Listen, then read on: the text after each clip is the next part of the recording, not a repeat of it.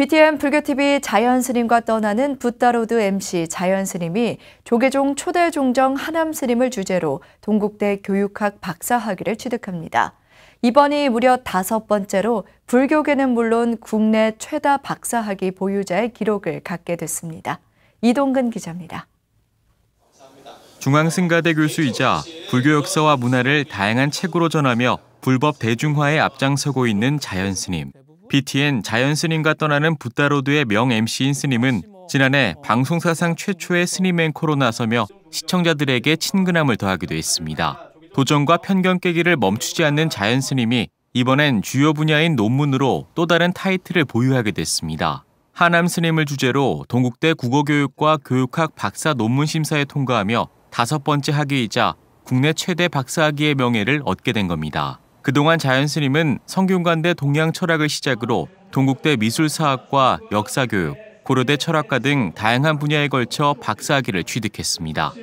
원래 공부라고 하는 용어도 사실은 불교 용어하고도 관련이 된다라고 할 수 있어요. 그래서 공부라고 하는 거는 어떻게 보면 스님들이 원래 하려고 하는 것들의 기본이 거기에 있는 거고 자연스님은 그저 수행자의 본분으로 행해진 공부가 수많은 논문과 다섯 번째 박사학위로 이어졌다며 담담한 소회를 밝혔습니다. 그러면서 유튜브와 SNS 등 정보홍수 속에 논문 쓰기는 일종의 클래식 학습이라며 학위의 진입 장벽이 높다는 부담 대신 익숙함을 넘는 새로운 시선과 즐기는 자세가 필요하다고 말했습니다. 특히 스님의 다섯 번째 박사학위 논문은 조계종 초대종정 하남 스님의 투철한 계율의식과 청정함, 선불교의 대중화 등을 심도 깊게 조명하며 한국 불교의 지향점을 제시했다는 후문입니다.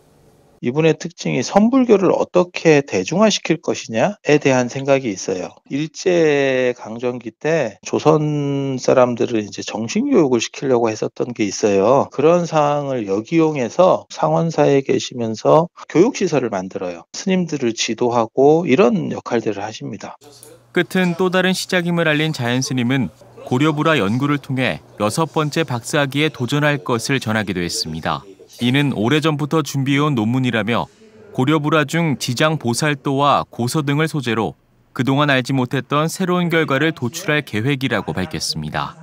고려불화 가지고 제가 진행한 지가 오래됐습니다. 책 관련된 거나 그림은 계속해서 조금씩 뭔가 의미들이 도출이 될 수 있고 새로운 것들이 나오거든요.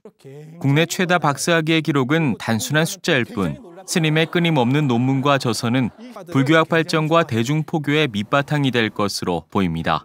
BTN 뉴스 이동근입니다.